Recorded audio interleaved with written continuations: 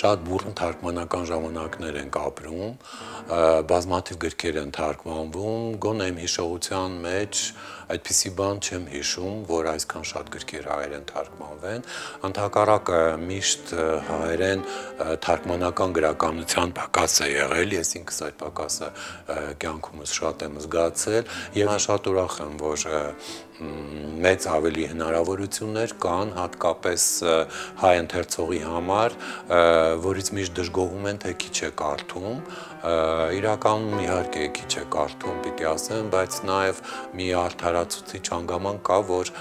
հայ ընթերցողին իրականում շատ քիչ առաջարկելու բան կա։ Թարգմանիչ կինոգետ Զավեն Բոյաջյանը հպարտ է, որ ինչպես ինքն է ասում, թարգմանական բումի մի մասն է կազմում եւ հնարավորություն ունի թարգմանել գրքեր, որոնք վաղուց պիտի հայերեն լինեին։ Գեղարվեստական թարգմանության ծանր աշխատանքի, բարդությունների, իր ոճի եւ նախընտրությունների մասին ենք զրուցել Բոյաջյանի հետ։ Ես ինքս որպես թարգմանիչ գերադասում եմ գործ ունենալ տարբեր տեսակի տեքստերի հետ, չեմ սիրում միանման հեղինակների, թարգմանական այն եղանակը, երբ որ լովին տարալուծում ես հեղինակի մեջ։ Կարծես թե ես դեր պիտի մարմնավորեմ, խաղամ այդ հեղինակի դերը, հետեւաբար պիտի ինթորինակեմ նրա ամեն ինչ շարժուձևը, խոսելաձևը, նախընտրած ոճերը, բառապաշարը եւ այլն։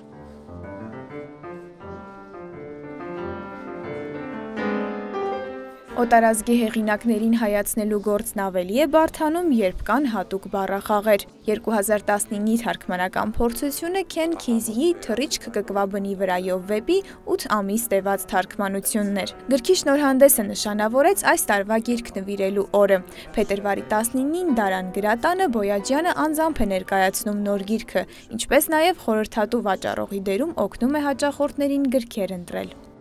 տենց անհատի ու համակարգի հակամարտության մասին է։ Ճիշտ է, իր կոնֆլիկտը բանը շատ այդպես ողբերգական է, բայց իրականում ինքը ավելի շատ տրագիկոմիկական գիրք է, որովհետև շատ զվարճալի էպիզոդներ կան։ Չեմ կարծում, որ դուք դա կարդաք 20 տարեկանում, եթե 40 լինեք, ուրիշ բան։ Այս շատ լավ գործ է, այս դևը եւ օրյոտ պրիման հա խորհուրդ կտամ, եթե իրանցի չո բան սիրում եք կարդալ բան, դա մյուս գործերից բավական տարբերվում է իր համար դա շատ ռեալիստական պատմություն էր, որտեղ դա իրան հիշացնում էր ոնց որ անհատի պայքարը կոմունիստական ռեժիմի դեմ։ Դրա համար ինքը համարում էր, որ դա շատ ռեալիստական իրական պատմություն է։ Իսկ Քենքիզին ասում էր ոչ, իմ գիրքը ռեալիստական գիրք չի։ Դրա համար իրանց կոնֆլիկտը այդտեղից էր, էլի։ խոսքով տենց։ Խնդրեմ Վիճակագրությունը վկայում է, որ 2013-ից 2018 թվականներին Հայաստանում թարգմանվել է մոտ 600 գիրք, ընդ որում 2018-ին 2013-ի համեմատ թարգմանված գրքերի թիվն աճել է 56%-ով։ Ամենաշատ գրքերը թարգմանվել են անգլերեն, ռուսերեն, ֆրանսերեն եւ գերմաներեն լեզուներից։